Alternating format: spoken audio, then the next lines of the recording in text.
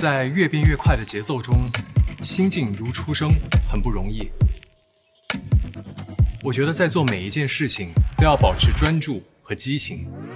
经过日复一日试炼的初心，让自己变得坚韧而光滑。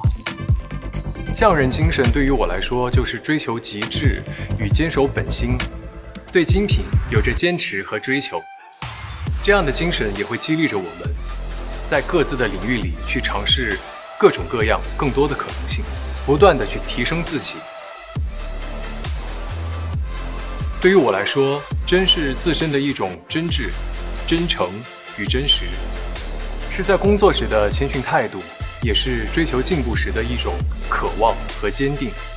我也希望在接下来的前行道路上，能够继续保持住这一份真挚，做好自己。